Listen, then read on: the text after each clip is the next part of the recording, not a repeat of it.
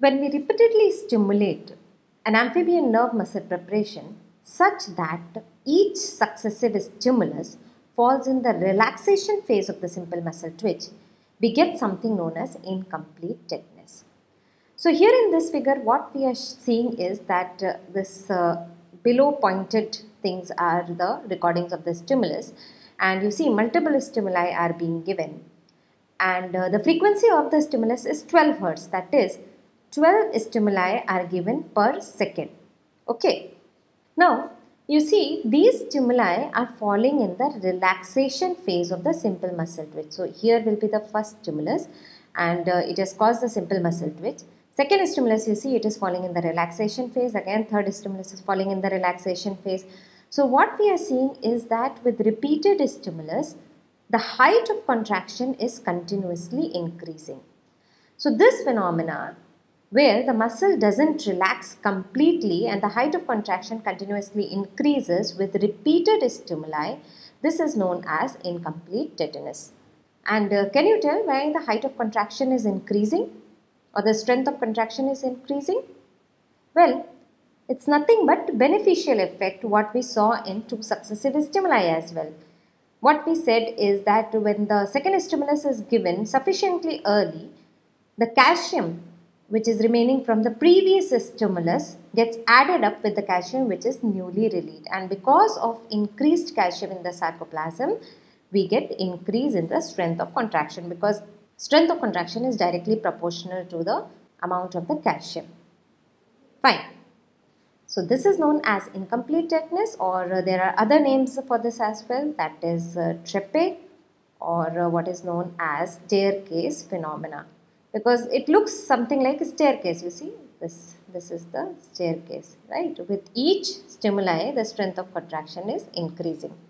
Now what if if these successive stimuli are given such that they fall in the contraction phase so somewhere here we get something known as complete tetanus. So this is the graph of complete tetanus and you see in this case the frequency with which we need to stimulate is much more. Here it was 12 per second and here it is 25 stimuli are being given per second. Hertz is nothing but number of stimuli which are given per second.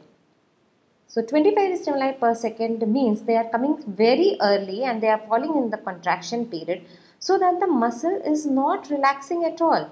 The simple muscle twitch which has occurred due to first stimulus, so first stimulus will be here. Now there is no relaxation, maybe after this the muscle was about to relax but the second stimulus has again caused release of more calcium, then more calcium and with each stimulus we are getting increase in height of contraction as well. So why is this occurring? Again because there is much much more calcium. So can you tell in which of these height of contraction will be more? Obviously, in complete tetanus, the strength of contraction or the height of contraction which we record will be more because of more calcium in the sarcoplasm. So, this is known as complete tetanus that is a state of sustained contraction of muscle. So, for this we need to know that uh, what should be the frequency with which we should stimulate. So, how do we get this that uh, at what rate should we stimulate? It is simple. You see, that if this is a simple muscle twitch, right, and uh, we said that this is the contraction period and this is the relaxation period. So, suppose the contraction period is 40 milliseconds. So, we said that for complete tetanus, the second stimulus should fall always in the contraction period. So, it should be within 40 milliseconds.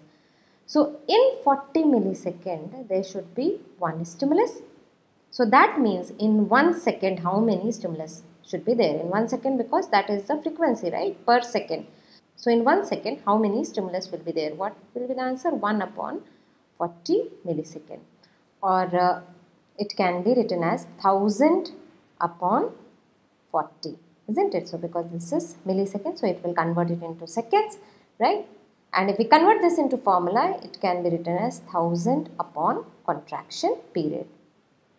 So that will give the frequency in seconds. So if the contraction period is 40 milliseconds and you calculate how much will be the frequency, it will be 1000 by 40 and that comes to 25 hertz. So that is known as tetanizing frequency. Fine. Now What is the significance of all this? Incomplete tetanus and complete tetanus. Well, it is used in body for increasing the strength of contraction.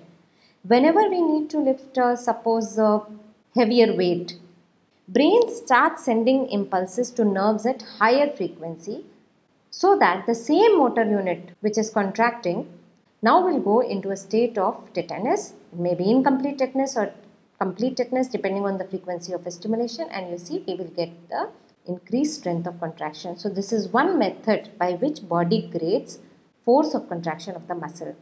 Thanks for watching the video. If you liked it, do press the like button, share the video with others and don't forget to subscribe to the channel Physiology Open. Thank you.